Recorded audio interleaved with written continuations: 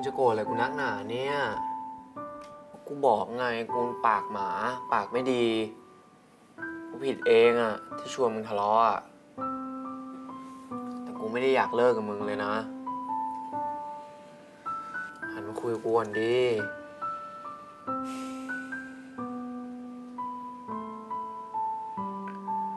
แล้วถ้ามึงไม่อยากเลิกอะมึงจะพูดแบบนั้นทำไม ก็กูแค่ปากไวอะ แล้วถ้ากูปากไวบอกเลิกมึงบ้างอะช่างมันเถอะมึงคงไม่เจ็บอย่างที่กูเจ็บหรอกถ้ากูไม่แคร์มึงอะกูไม่มานั่งง้อมอยู่อย่างนี้หรอก กูจะซื้อข้าวเย็นมาเผื่อมึงทำไม กูจะวิ่งหาร้านซักรีดเพื่อซ่อมเสื้อให้มึงทำไม และที่กูขอให้มึงยกโทษอยู่เนี่ย ก็เพราะกูแคร์มึงไม่ใช่เหรอวะ แฟนเฮงซวย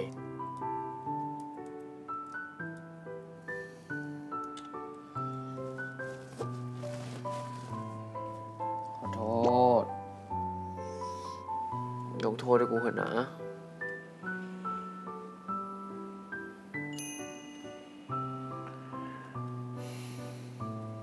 งั้น ทีหลังอะ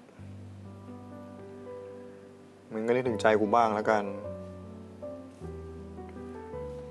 กูไม่อยากได้ยินคำว่าเลิกจากปากมึงอะ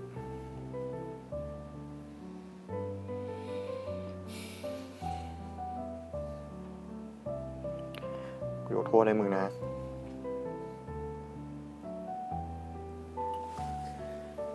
แต่มึงก็มีเรื่องหนึ่งเหมือนกันที่ต้องขอโทษกู เรื่องไอ้พี่สาร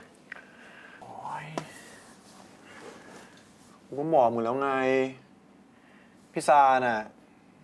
เป็นรุ่นพี่ที่กูเคารพ ไม่ใช่เว้ย เรื่องที่มึงเคยนอนกับมันต่างหาก